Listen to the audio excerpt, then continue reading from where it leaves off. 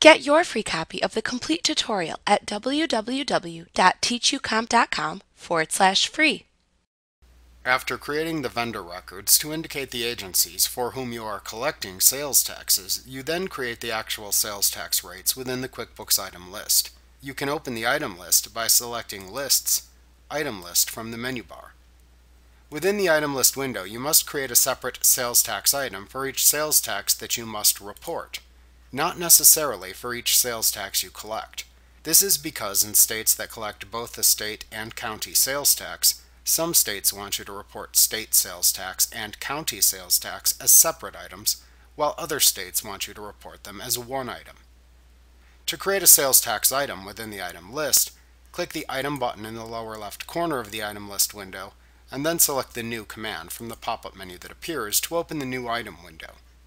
In the New Item window, select Sales Tax Item from the Type drop-down at the top of the window. Then click into the Sales Tax Name field and enter the name for the sales tax. Enter a description of the sales tax into the Description field. If this sales tax item is the only sales tax collected within customer forms, then enter the sales tax description as you want it to appear within customer sales forms into this description field. Then enter the sales tax rate as a percentage into the tax rate percent field. Use the tax agency vendor that you collect for dropdown to select the name of the vendor to whom you submit the payments of this sales tax after it has been collected.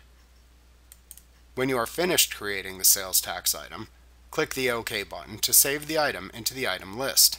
If needed, you can repeat this process until you have created all of the individual sales tax items that you must report as required for your company file.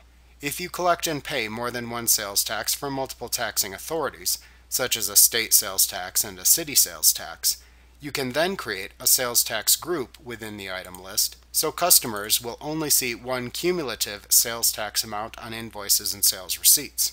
In the next lesson, you will learn how to create a sales tax group item within the item list to collect multiple sales taxes for multiple taxing authorities as a single line item within sales forms. Like what you see? Pick up your free copy of the complete tutorial at www.teachucomp.com forward slash free.